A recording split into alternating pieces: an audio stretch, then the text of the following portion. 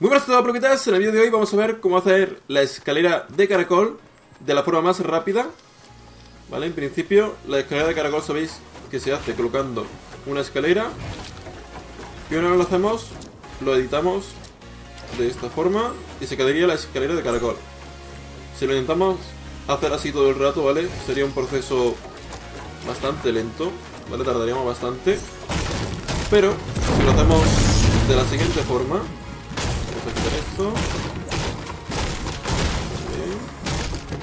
Y esto también. La forma más rápida para hacerlo sería círculo. Y una vez estamos construyendo, nos venimos aquí.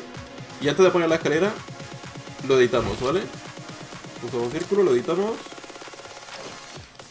Un momentito, a ver si me sale para editarlo. Aquí. Vale, lo editamos. Hacemos aquí la escalera de caracol.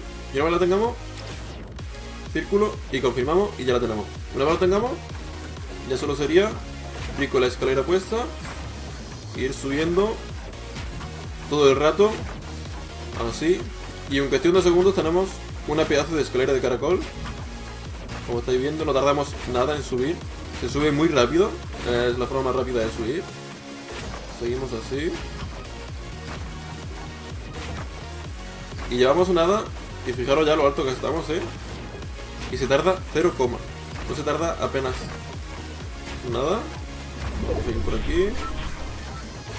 Y esta sería la manera más rápida y más sencilla de hacer la escalera de caracol.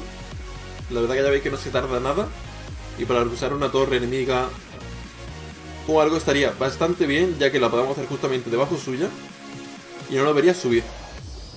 No sé si me explico. O sea, para rusar una torre enemiga, sabéis que con la escalera normal, pues tenéis que hacerla de bastante lejos. Pero así podemos subir al enemigo prácticamente en 10 segundos. Porque fijaros la pedazo de torre que he hecho. Y no he tardado nada. Podemos rushear a alguien muy muy rápido. Como veis, una pedazo de escalera de caracol. No hemos tardado nada. 20 segundos, 15 segundos en hacerla. Y ya estaría. Este sería el vídeo. Espero que os haya gustado. Y hasta luego.